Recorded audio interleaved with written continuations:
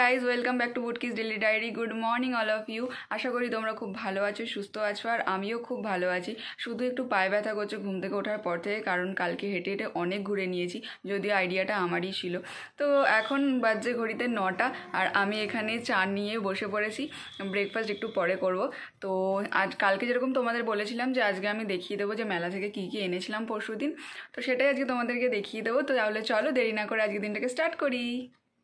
আজকে আমাকে ব্রেকফাস্ট বানাতে হবে আর আমি একটাই জিনিস বানাতে জানি, সেটা হচ্ছে ম্যাগি। তো আজকে ব্রেকফাস্ট ওই জন্য ম্যাগিই বানাবো। আর একটা জিনিস হয়তো তোমরাও খেয়াল করছ, আর এখন থেকে মানে এখন তো মার্চের মিডিল টাইম তো এখন থেকে এত রোদ, এত গরম, বাইরে একদম বেরোনো যাচ্ছে না। আমি তার জন্য ঘরেই ঢুকে আছি। আগে শীতকালে বাইরে বাইরে ঘুরতাম রোদের জন্য, আর এখন আমি ঘরে ঢুকে বসে আছি এত বাইরে রোদের তেজ। তো যাই হোক, এখন যাই, ম্যাগিটা বানিয়ে নিই। ম্যাগি আমার এখানে রেডি হয়ে গেছে। আর ম্যাগি আমি যেহেতু বানিয়েছি, তাই আমি জানি যে আমার লেট হবে বানাতে। তাই জন্য আমি আগে চা খেয়ে নিয়েছিলাম যাতে খিদেতে না মরতে হয়। আর এখন বাজে হচ্ছে প্রায় সাড়ে দশটা। এরপর আমার ক্লাস আছে, তো ম্যাগিটা খেয়ে নিই তারপর ক্লাসটা করে নিই তারপর তোমাদের সাথে আবার কথা হচ্ছে।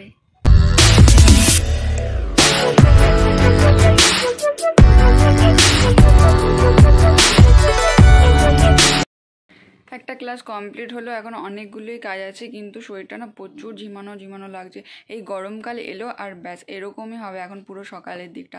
যতক্ষণ রোদ থাকবে, ততক্ষণ শরীরটা ঝিমানো ঝিমানো লাগবে। কিচ্ছু করার নেই। আর তার মধ্যে আবার আমার আজকে খিদে পেয়ে গেল। এত জলদি আবার কী খিদে বা একটু আগেই খেলাম। তো যাই হোক, এখন ফ্রিজে দেখব কিছু আছে কি না। আই থিঙ্ক মাজা ছিল, তো মাজাটা একটু খাব, কারণ আবার খিদে খিদে পাচ্ছে। আর আমি, আর কোথাও ঘুরতে যাচ্ছি না। হ্যাঁ ফাইনালি মাজাটা পেয়েছি। আমি আর কোথাও ঘুরতে বেরোবো না এখন। কালকে ঘুরতে গিয়ে মনে হচ্ছে যেন আমার শরীরটা আরও টায়ার্ড লাগছে। এখন এক মাস আমি ঘরে বসে রেস্ট করব। আর অনেকটাই বেলা হয়ে গেছে, সাড়ে বারোটা প্রায় বাজছে, তো আমি যাব, জলদি জলদি স্নানটাও কমপ্লিট করে নেব। আমার স্নান কমপ্লিট আর আজকে আমার ফুল তোলার ডিউটি নেই। কারণ হচ্ছে আজকে মা সকালবেলা ফুল তুলে দিয়েছে। আসলে কি হয় জানো তো, গাছে ফুল থাকলে পাড়ার মানে আশেপাশে কেউ এসে বলে ফুলগুলো নেব তো, আর আমরা না করতে পারি না।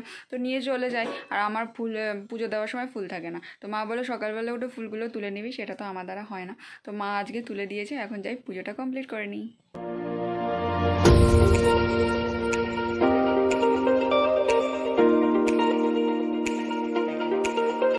পুজো দেওয়া আমার কমপ্লিট আর পুজো দিতে দিতে আজকে একটা কথা ভাবছিলাম যে অনেক দিন থেকে আমি ভাবছিলাম লোকনাথ বাবার মন্দির যাব আর একটু প্রণাম করতে। কিন্তু কখনো হয়নি। একে ওকে বলতাম কেউ যাওয়ার জন্য রাজি হতো না বা কাছাকাছি কোথায় মন্দির আছে সেটাও আমি ঠিকঠাক জানি না। আর কালকে কি হলো?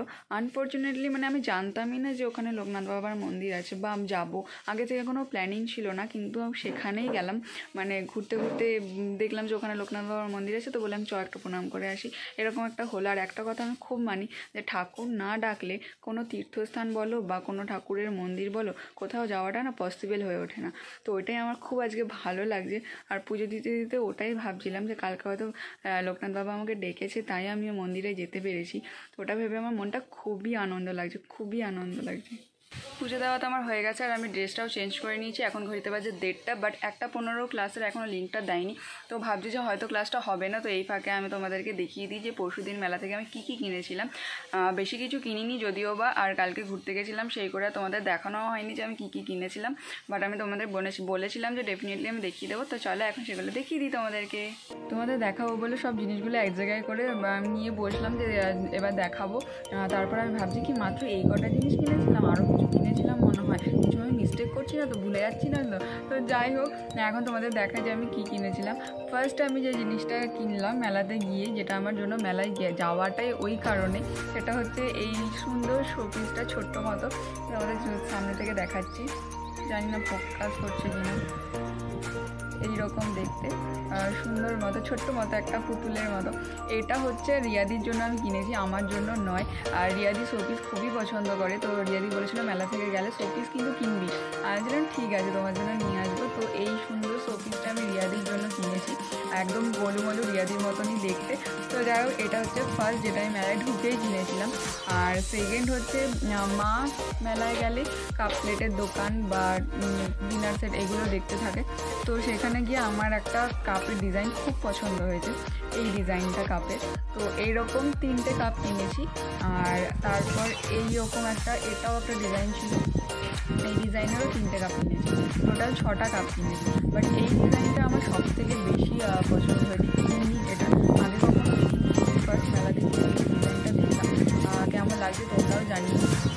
আমার জন্য কি কিনবো সেটাই আমি খুঁজে পাচ্ছিলাম না। পুরো গোটা মেলাতে মা বলছে, হয়ে গেছে তো, চ এবার। আমি না আমার জন্যই তো কিছু কিনি। আমার জন্য লাস্টে খুঁজে খুঁজে কি কিনবো কি কিনবো করে কিছু পাইনি। আনো কানের আমার ফেভারিট চলো একটা কানের কিনে নিই তো এই কানেরটা কিনলাম।